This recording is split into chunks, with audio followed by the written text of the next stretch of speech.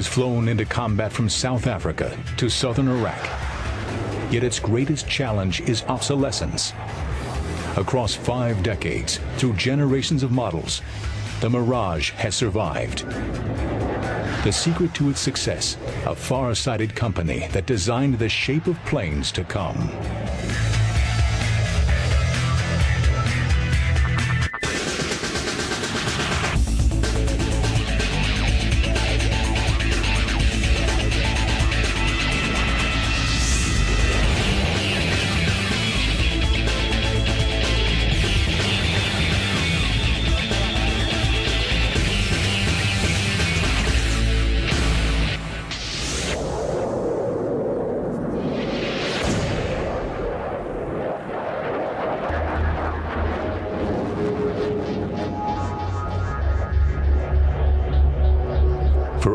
Half a century, the name Dassault Aviation has been synonymous with French combat aircraft.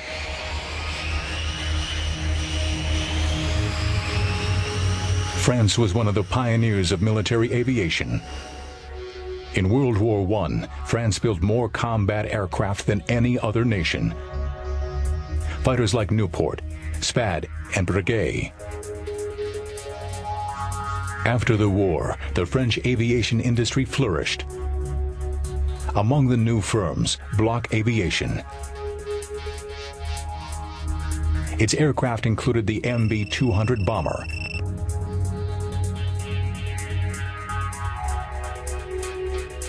and the radial-engined MB-150 series of fighters. When France fell in 1940, the brother of the head of Bloch Aviation joined the French resistance. After the war, Marcel Bloch renamed his company after his brother's resistance code name. And so Dassault Aviation was born, and pivotal in ushering France into the jet age. In 1947, Dassault began work on the first generation of French jet fighters, the Ouragan or Hurricane, which entered service in 1952.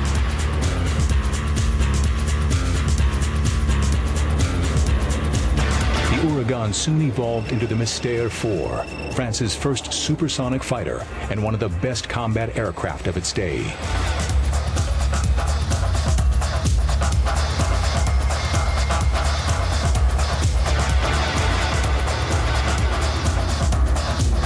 Powered by a Verdon jet engine, the Mystère 4 could reach speeds of 696 miles per hour and was heavily armed with 30-millimeter cannons.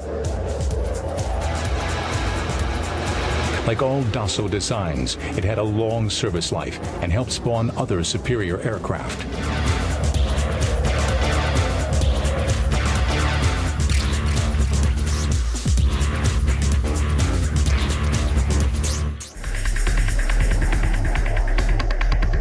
During the mid-1950s, Dassault Aviation began development of a radical new aircraft design capable of speeds above Mach 2. The new fighter used a delta wing configuration, a shape that would become a trademark of Dassault fighters in the decades to come. Intended primarily as an all-weather interceptor, the Mirage 3 entered French Air Force service in 1961.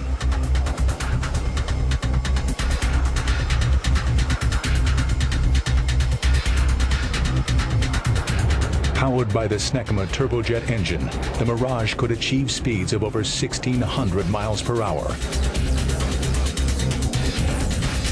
With more than 1,400 produced, the Mirage served for many years in France, as well as other foreign air forces.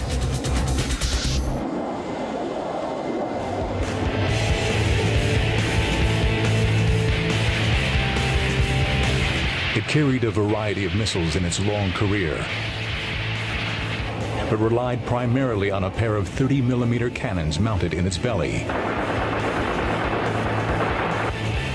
These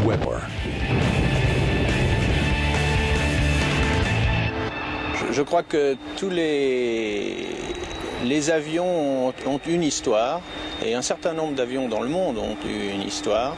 Euh, le Mirage est, un de ces avions qui a été euh, extrêmement porté par euh, un événement particulier qui a été la guerre des six jours en Israël et qui a rendu tout d'un coup cet avion extrêmement populaire à travers le monde et qui en a fait un, symbole d'avion euh, manœuvrant, performant. Et puis c'était un symbole de la technologie française. The Mirage 3 became the template for a much larger Delta Wing aircraft, the Mirage 4 bomber. Though similar in shape, the twin-engine Mirage 4 was a large, supersonic strike aircraft designed foremost to deliver strategic nuclear weapons.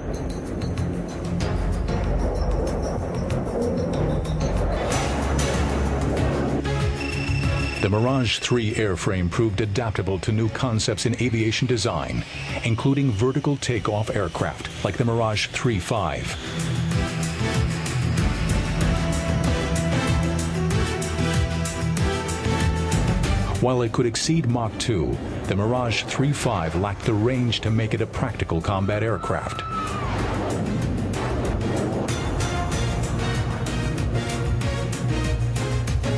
The classic Delta Wing had shortcomings in some flight regimes.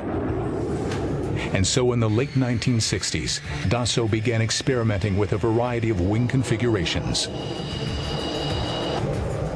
This led to the highly successful Mirage F-1 series of fighters, marked by conventional swept wings and a standard tail surface. The Mirage F-1 marked a breakthrough in Dassault fighter designs, with a performance markedly superior to previous models. A multi-role aircraft, the F-1 offered double the range of the Mirage 3 and excellent maneuverability.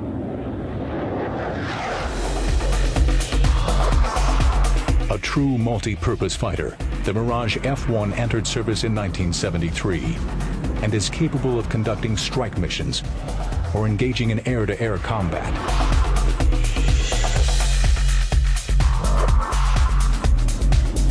The Mirage F-1 can also be adapted to the naval strike mission, armed with the famous Exocet anti-ship missile.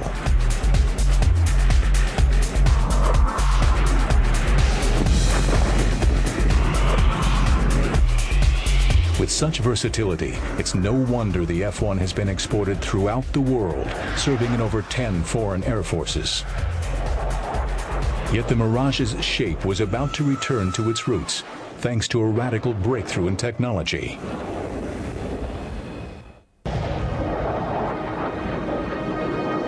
For generations, fighter aircraft were controlled by, the, by electronic systems, spawning the term fly-by-wire.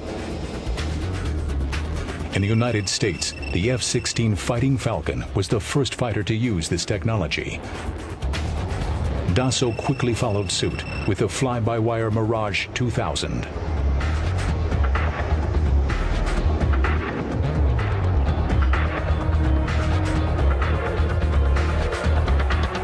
Et dans ce domaine, Dassault a été euh, véritablement un, constructeur en avance sur son temps sur les commandes de vol. C'est toujours été une des grandes forces de la société Dassault d'avoir su euh, créer des commandes de vol qui étaient adaptées aux qualités aérodynamiques de ces avions. Particulier euh, sur un bombardier comme le Mirage 4, euh, il y avait déjà tout un système de commandes de vol électrique avec un système de réversion mécanique en cas de problème du système électrique. Et puis l'évolution naturelle avec l'apparition des avions CCV comme le F-16. Fly-by-wire technology has been key to the enhanced maneuverability found on most modern fighters. Greater maneuverability is critical in a dogfight, not only for getting onto an opponent's tail, but also evading enemy aircraft or missiles. Using fly-by-wire controls, the pilot can maneuver the plane to its full potential, a potential sometimes beyond the capacity of the pilot himself.